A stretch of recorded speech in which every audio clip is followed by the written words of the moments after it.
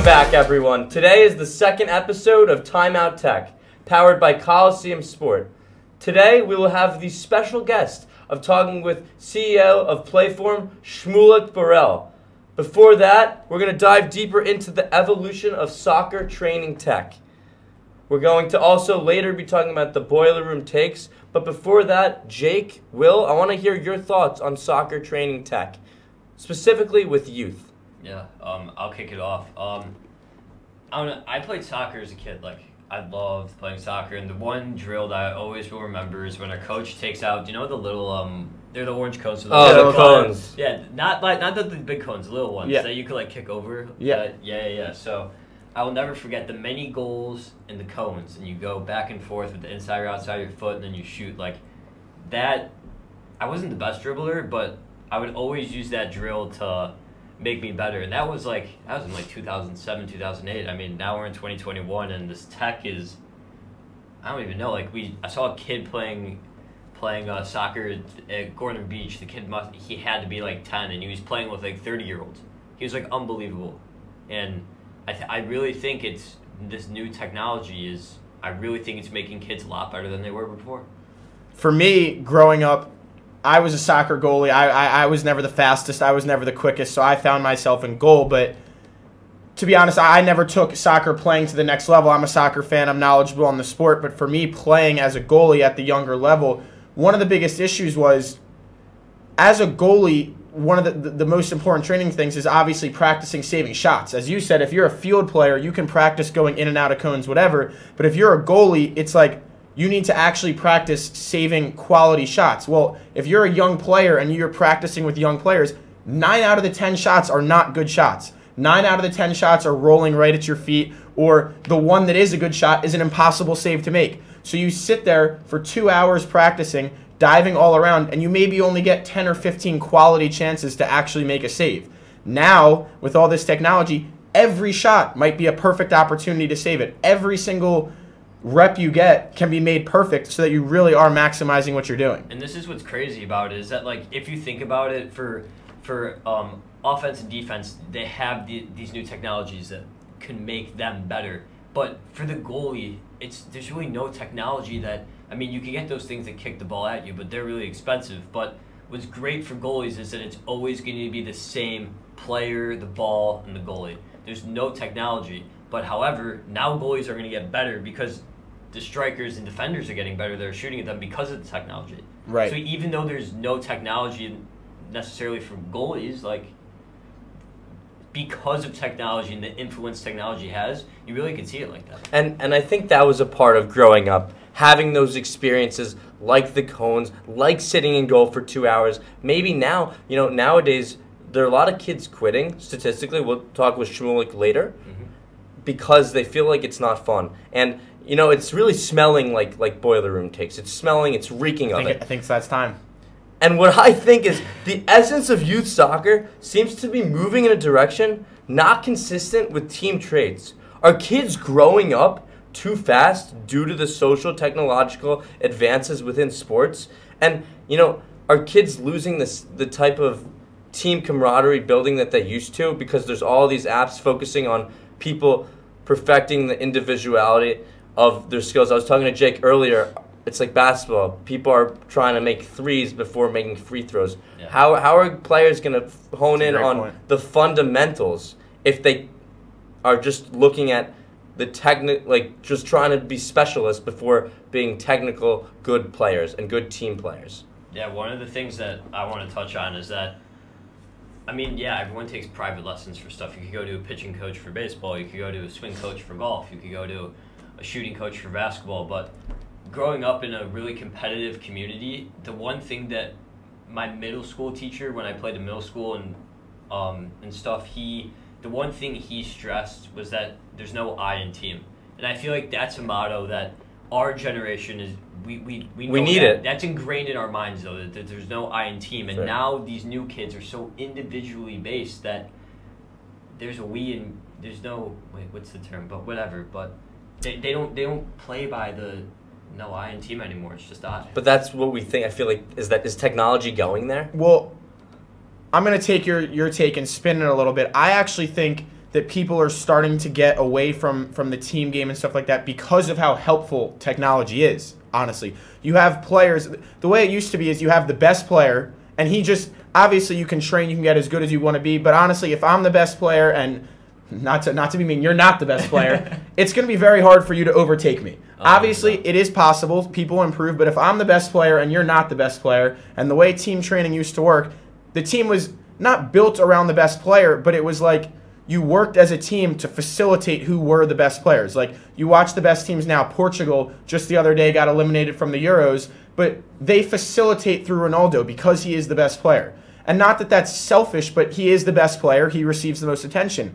Now, because technology is so helpful and it is so great, you have every single player on the field thinking that they can be the best player. But could that be detrimental if everyone thinks I'm the best? That's what I'm saying. Yeah. Well, I don't think it's them thinking they are the best because in reality, it's the Ronaldos, it's the in this case the me's Yeah. who, who who really are the best. And and because of technology and it's honestly so beneficial, which is what's making it harder. And I think that as we move forward, people will better understand how to use it and platforms like Shmulik, which we'll later talk about with Playform, will help to cater towards that. But yes, training is great. You should put in as much work as you can. But if you're not the best player, no amount of technology training is going to make you the best player. And that honestly, I think, is a bit of a contradictory view to what a lot of people think now. I feel like a lot of people think that if you put the most amount of work in, you can be the best player. And honestly, as I'm saying and I'm thinking about it, I, I don't know if that's entirely false, but I feel like that's not true for the majority of players.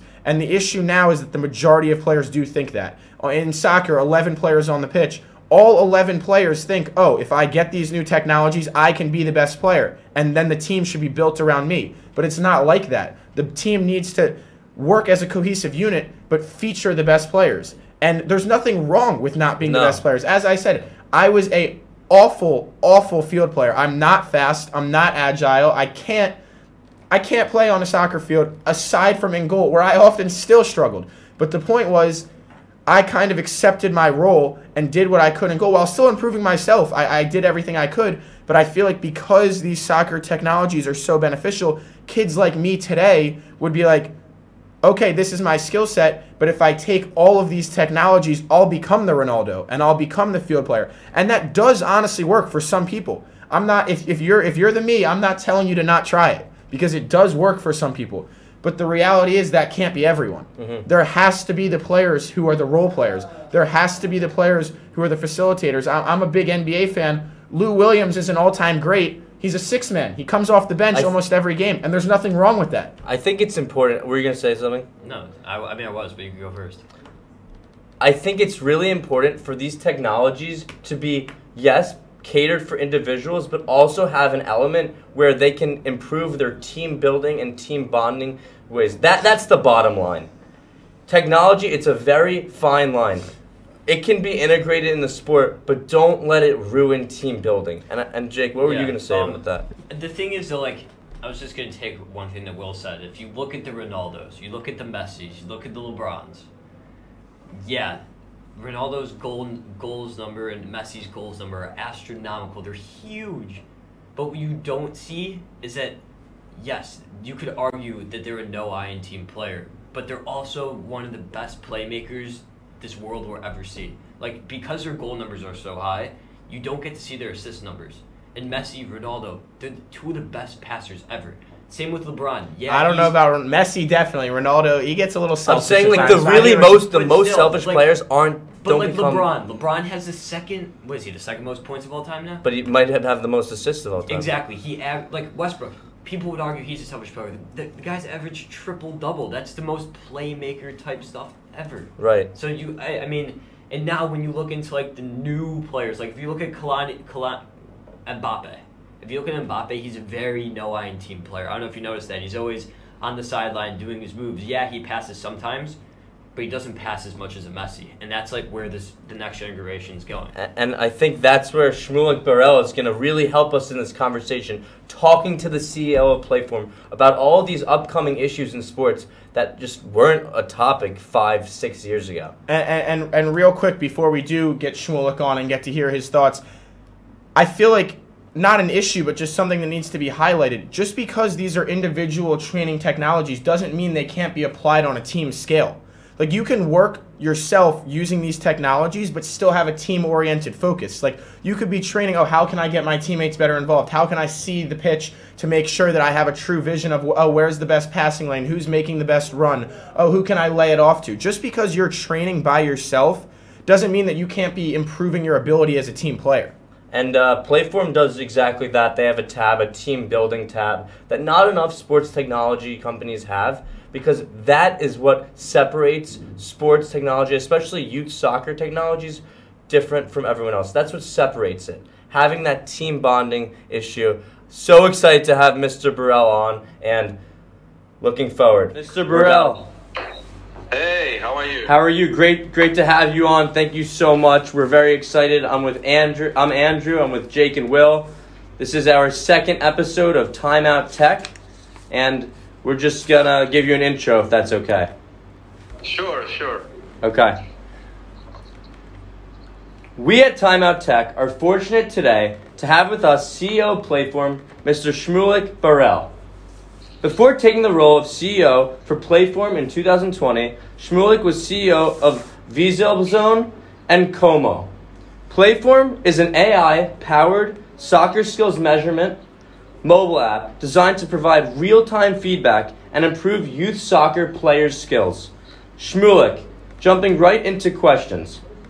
What has been your inspiration as the leader of one of the most successful startups in the world, and where do you see Playform in the future? So, uh, first of all, uh, thank you for having me with you. Uh, so, my inspiration was uh, um, this situation which I found out on the youth outlets market where only a small piece of players have access to their data and playing analytics at their most exciting years of player development. And we all know that uh, data today is the is the new asset, is the Absolutely. new oil, which move industries and make the next revolutions uh, and the next uh, step forward. And what um, I've been, uh, uh, uh, what I saw is that in sports, um, technology are still in a very early stage in the innovation phase, and that's why I think that there is a huge, huge opportunity here to bring these technologies to the mass market.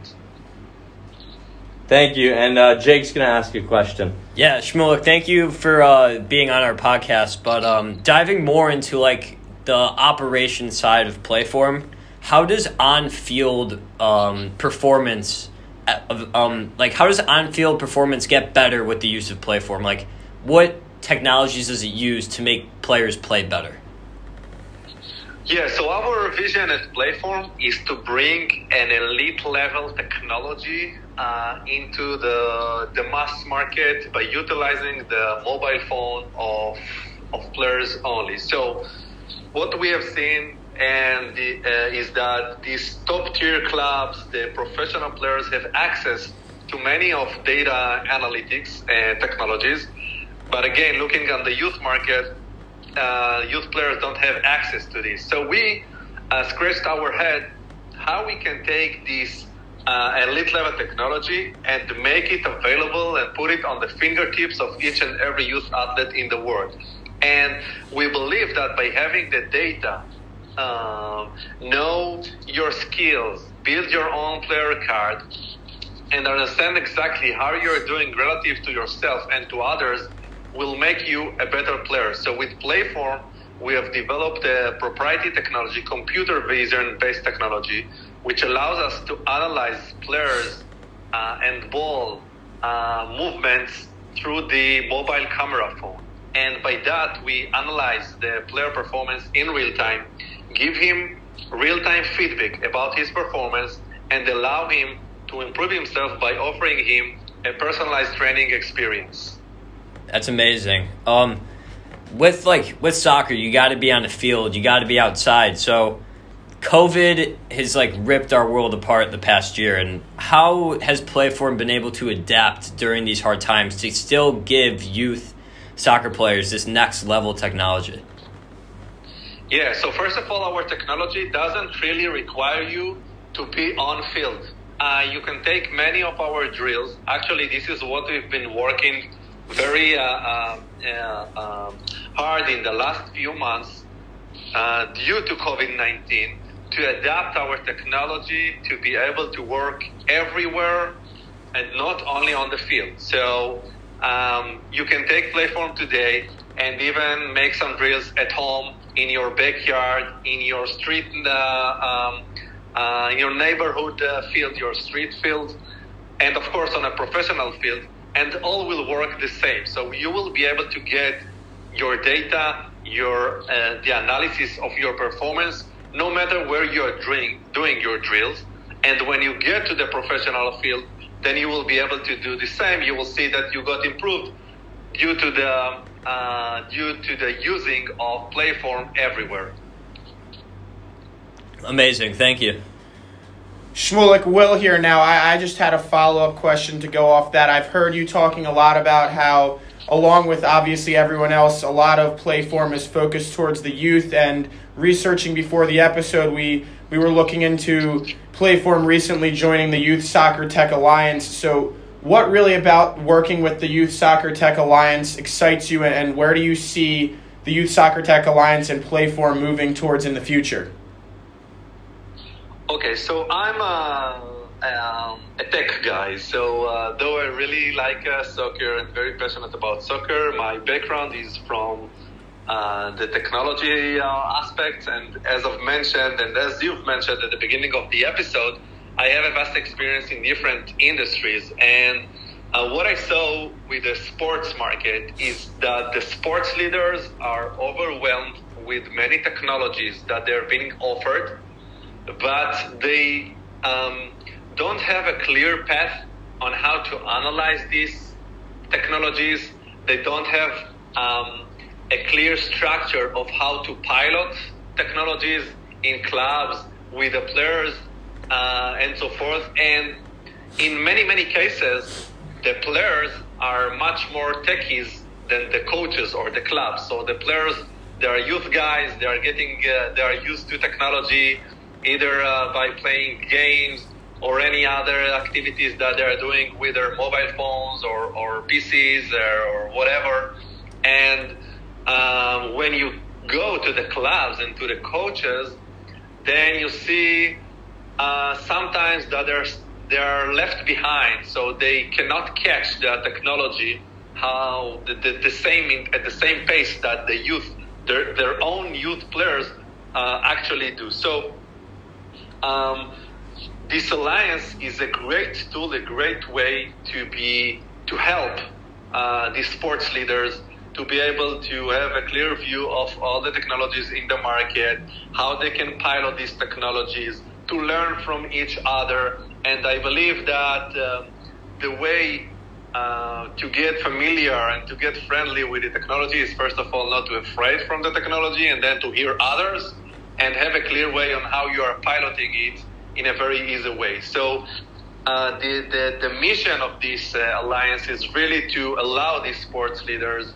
uh, to try and absorb this uh, much more easier and to remove down the, the fears, the, the, the concerns that they have about implementing new technologies on their clubs and, and teams. Definitely. And, what is it that separates Playform from other AI soccer startups? You know, what, what do you guys do that makes a consumer say, I need to go to Playform? So our focus, our core technology is not the AI, is the computer vision. And there is no other solution on the market uh, which actually has the, that is doing what we are doing.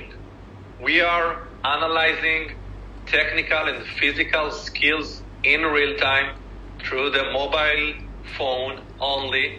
So it's not only about uh, um, like offering you a great content or personalized uh, training, but which is based on content. We actually we're like a digital, we're like a real coach, uh, but our eyes is the technology, and this is a proprietary technology. We've been developing this technology for the last three years almost with several um, uh, uh, uh, patents that uh, that were part of this technology, and we're allowing each and every youth athlete actually to get uh, the experience of a personal coach, but with a mobile phone.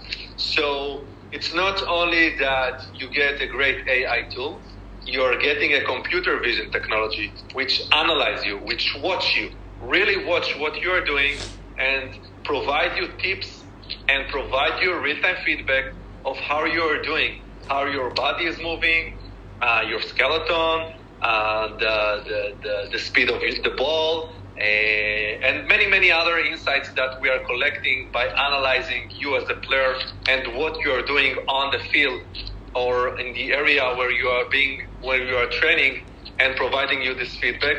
Um, we have, we have a great, uh, a very deep uh, uh, uh, understanding of the market, and we didn't find any other solution on the market today that actually is, that actually actually providing computer vision mobile based technology like Playform.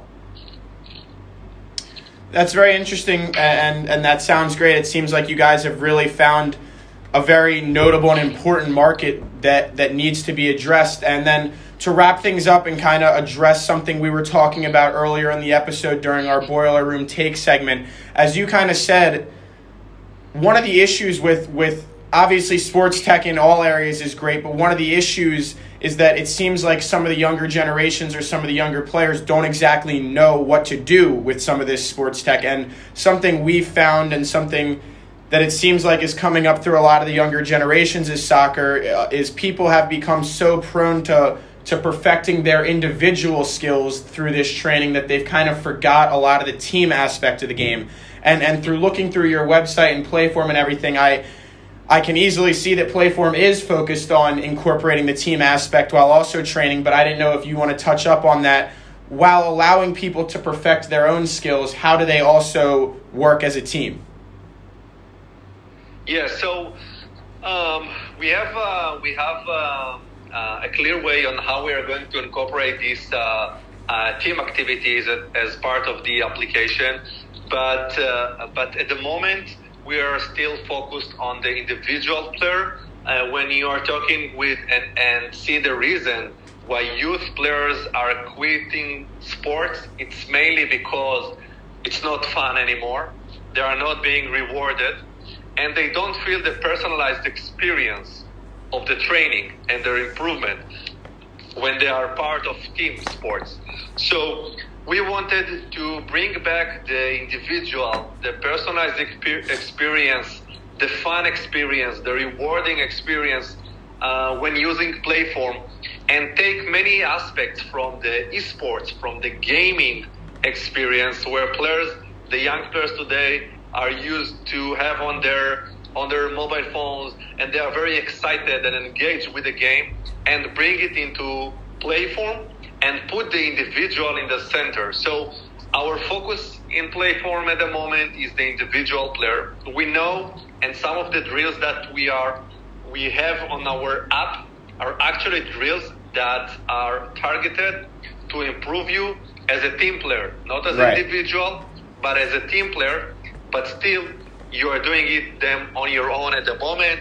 We have uh, on our uh, roadmap later on, we are going to introduce multiple players uh, drills and others. So it's going to be very, very excited and um, and uh, and uh, enrich our uh, our capabilities in, in Playform.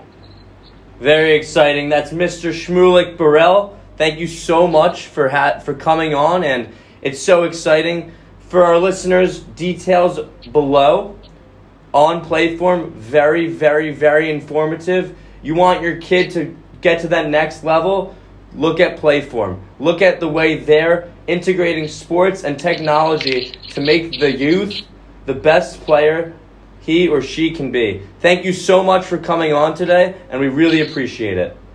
Thank you, guys. Thank you. It was a pleasure. Thank you. Bye bye. And I also, real quick, just touch up on what Andrew said for all of our listeners.